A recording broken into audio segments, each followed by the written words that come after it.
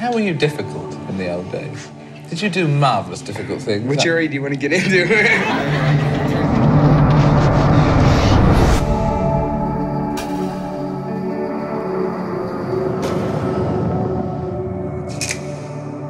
I'm Satya de la Manitou.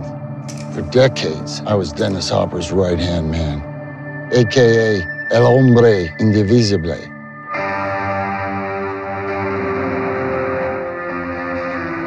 Dennis affected world culture.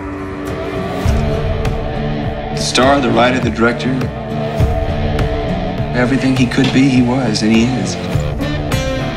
In the 70s, we were partying. Dennis was regarded as a notorious disruptor in Hollywood.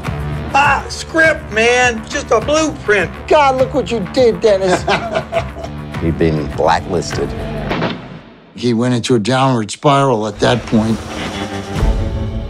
I had to make a decision whether I was going to keep getting drunk at parties or whether I was going to make a movie. And then came Dennis Hopper, who did not know his lines, but was right on and damn good. Dennis and David Lynch, how would you characterize the way they worked together? famously. He was absolutely perfect. He was he's so ingrained into the world of art. You could take this guy to Harvard and give a lecture, right? The crazy man of Hollywood.